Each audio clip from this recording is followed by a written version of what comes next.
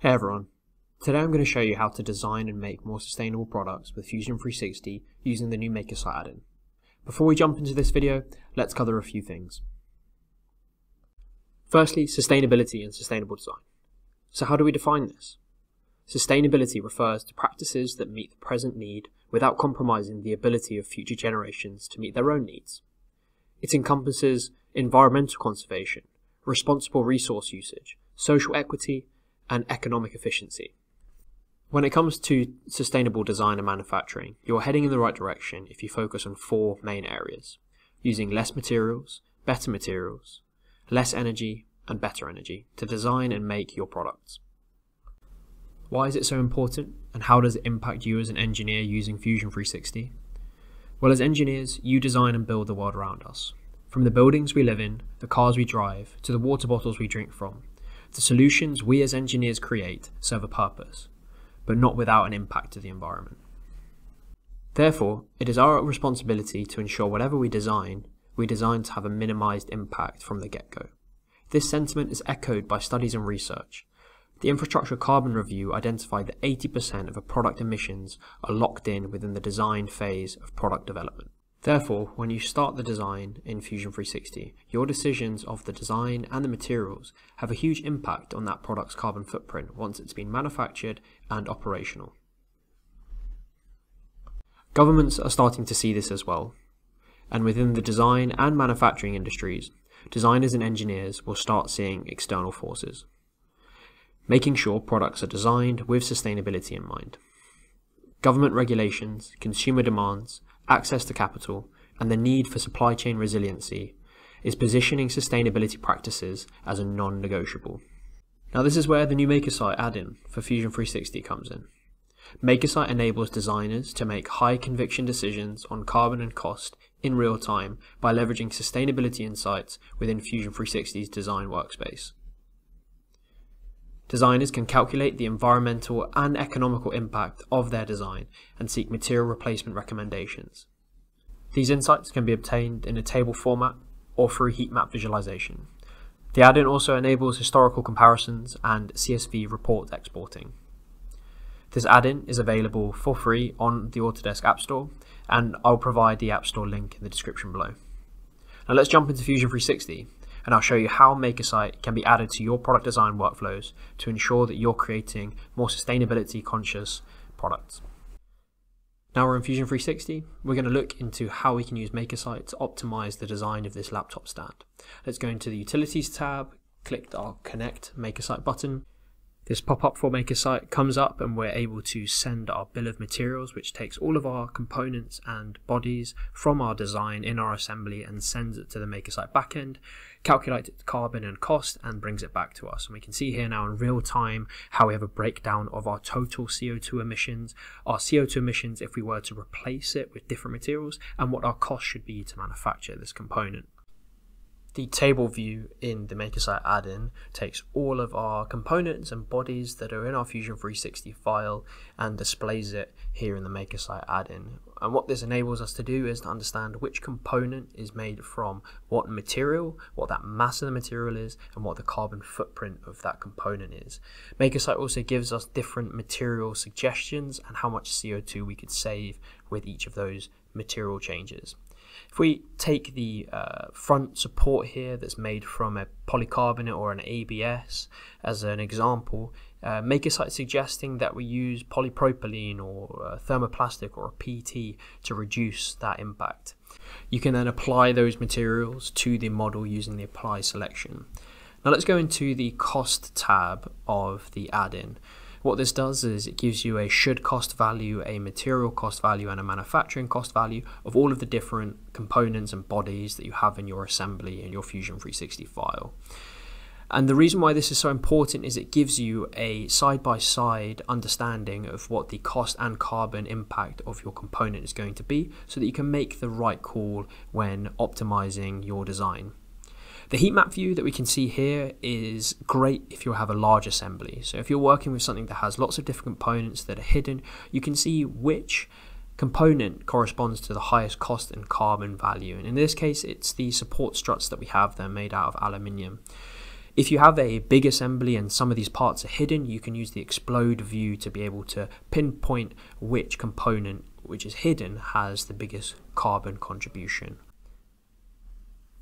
The cost tab in the heat map view does the same thing. It highlights which areas are the most expensive to create in your assembly. And again, you can see that the support struts here are the most expensive. However, that front section of the laptop stand is creeping up into the, the cost aspect. We can go into the historic view to see how our designs have changed over time and what the carbon and cost impact has been from them. So this is great to keep track of as you're making design changes, how is that influencing your overall uh, CO2 impact and manufacturing cost as well. Let's exit this Makersite add-on and make some changes to those aluminium struts that we've identified as the key carbon culprit. So we've got our initial product design, these are the values for it. Let's make some changes. Let's do some manual lightweighting to those struts to reduce the embodied carbon of them. Go into Fusion and let's resubmit that bill of materials. We can see what impact that has now had to the values associated with those struts and the overall assembly of our laptop stand.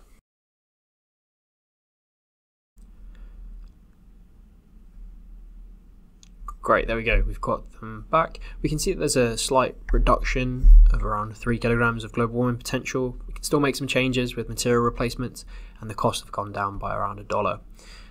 Looking at the table view, those struts are still the main contributor with almost around 3 kilograms of CO2 per, per one, and the cost as well. It's, um, it's getting there, but it's not perfect, and I think we could probably do another iteration here.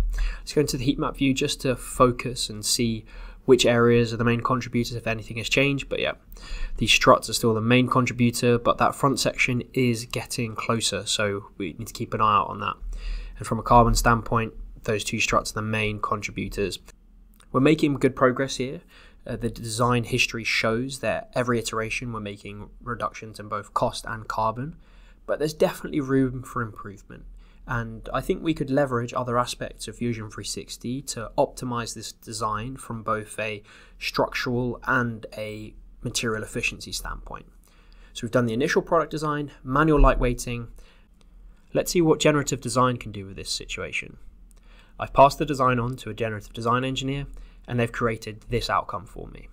Generative design is a great tool for this kind of situation because we can make sure that it can withstand the load cases applied to it whilst minimizing the material required, making a more carbon efficient outcome that can withstand load cases and has a minimized cost as well. Now we can use MakerSite to validate these claims. Let's send this bill of material to the backend and see what the impact has been from a carbon and cost standpoint we can see that it has reduced it further. We've gone down to 6.27 kilograms of global warming potential. There's still some reduction that we can do by implementing new materials, and the cost is also reduced as well. Now that we've optimized these struts, let's see in the heat map view what are the next key contributors from a carbon and cost standpoint, and think about how we could improve them as well. We can see that the struts are still the main contributor, but we've optimized them in such a way that we should, probably shouldn't focus on them. The next two things are these polymer supports that we have on the laptop stand. And we can see that this lower section is probably where we need to make the most changes to optimize it from both a cost and carbon standpoint. If we check the historic view, we can see that we're getting there. We, we've gone down to almost 6 kilograms of CO2 and $3 of cost. There's fi one final thing that we can do with this front support, and that's change its material and use the recommended material. At the moment, it's made from polycarbonate or ABS, but MakerSite is suggesting that we use a polypropylene instead to reduce it by about 75% of its global warming potential. So MakerSite add-in now allows us to apply this material to our model in Fusion 360, ensuring that our design changes have been saved. Can now see that it's being applied to the model and we can now save this model and resend the bill of materials to Makersite to see how that's impacted the overall global warming potential of our assembly. There we go, the BOM has been updated and you can see it's now dropped to under 6 kilograms of CO2.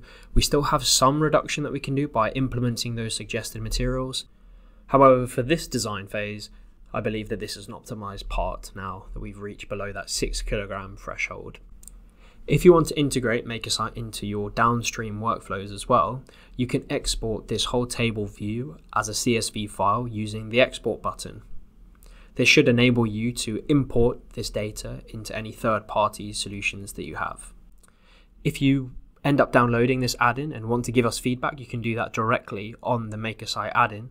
This is really helpful for us to understand how our users can see this adding value to their design and manufacturing workflows and how we can make it a better app in the future.